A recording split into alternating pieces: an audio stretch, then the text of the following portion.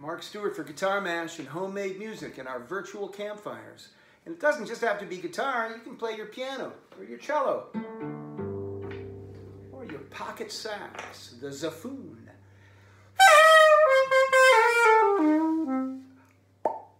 So long as it's homemade and it's yours.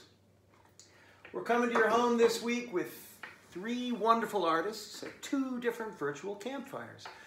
On Wednesday, Grammy nominated Amythyst Kiah is going to be joining me direct from Johnson City, Tennessee. She'll be leading us in song and sound. The songs Dolly Parton's Jolene and Adele's Set Fire to the Rain. Followed by Sammy Brue. We get Sammy again. He and I were the only ones, apparently we broke the internet. We were the only ones who heard the thing uh, uh, when he was on last week. So we got him back right after Amythyst this Wednesday. And then on Saturday, international multi-platinum Israeli artist David Broza will be our guest. David will be leading us in song and sound from the lower east side of Manhattan.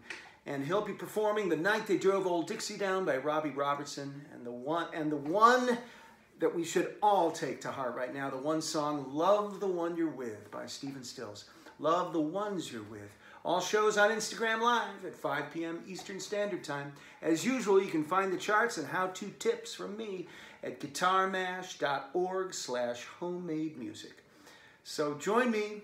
We'll all be singing together, raising a joyful noise in our houses and collectively all around the world.